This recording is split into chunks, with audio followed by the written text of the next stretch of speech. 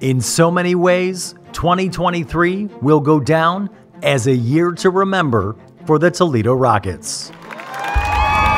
Jason Candle's Rockets won their second consecutive MAC West Division title, made their second straight trip to Detroit to play in the MAC Championship game, and played in their seventh bowl game during Candle's reign. The Rockets also reeled off an 11 game winning streak that vaulted them into the top 25 and had Toledo football historians dusting off the record books.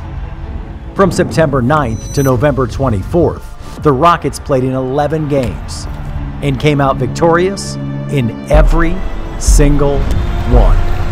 The 11 game winning streak was Toledo's longest in 52 years, going back to 1971, the last season in the legendary 35 0 run. It also moved UT into the number 23 spot in the AP poll, the Rockets' first appearance in the top 25 in eight years. In conference play, Toledo was simply perfect, going 8 0 for the first time in school history, including a dramatic 32 31 victory over Bowling Green in the Battle of I 75. The Rockets finished their season with an 11 3 record, their most wins since the 12 0 season in 1971. Toledo earned bowl eligibility for the 14th consecutive season, the eighth longest streak in the country, and played Wyoming in the Barstool Sports Arizona Bowl.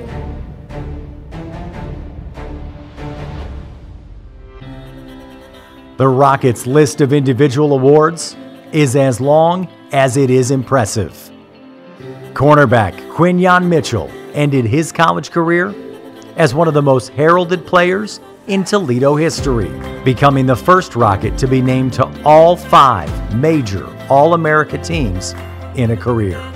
Mitchell was one of 10 Rockets to earn first team All MAC honors, the most in the league in 24 years quarterback Dequan Finn was named the league's MVP, while running back Peny Boone was tabbed as the MAC Offensive Player of the Year.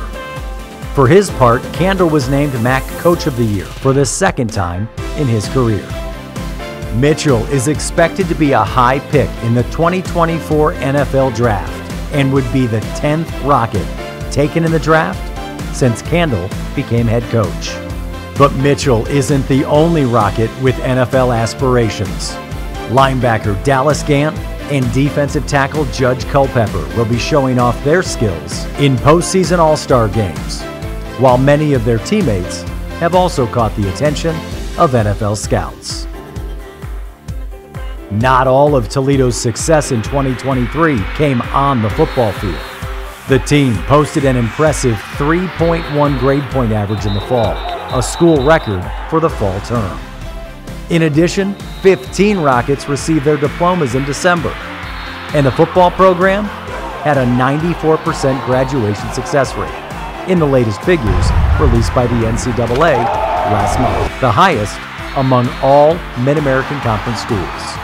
The 2023 season further solidified Toledo's stature as one of the premier college football programs in the country the Rockets' success was a national story, as Toledo played in a school record 10 nationally televised games, with more than 3.8 million viewers watching the Midnight Blue and Gold on ESPN and other networks. Fans poured into the Glass Bowl too, as Toledo led the MAC in attendance for the sixth consecutive season.